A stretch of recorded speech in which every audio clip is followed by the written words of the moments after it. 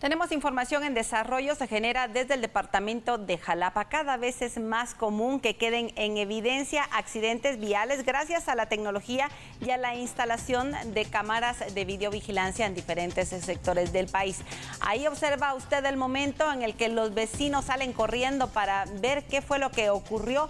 Y si usted ve fuego, ya le comento por qué es. Resulta que dos motocicletas chocaron de frente. Ahí van nuevamente las imágenes previo al accidente. Ponga mucha atención.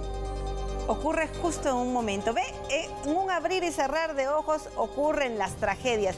Lo que parece ser que fue por exceso de velocidad de uno de los conductores, si usted se da cuenta, porque apenas se logra ver qué pasa y se pasa llevando al otro motociclista.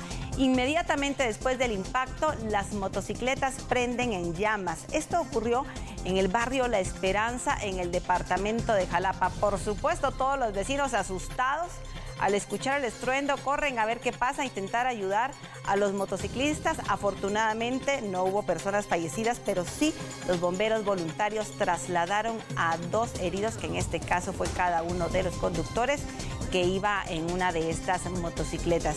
Es un llamado de atención justo en este momento, no solo para que pues también veamos lo impactante de lo que puede ser un accidente en motocicleta, sino que también conduzcamos con toda la precaución del caso. Si usted está pensando en adquirir una motocicleta, un vehículo de dos ruedas, por todas las ventajas que representa, pues también piense en la responsabilidad que va a tener en sus manos, adquiera todos los accesorios que corresponden y por favor, condúzcase con precaución en calles, carreteras y avenidas de nuestro país.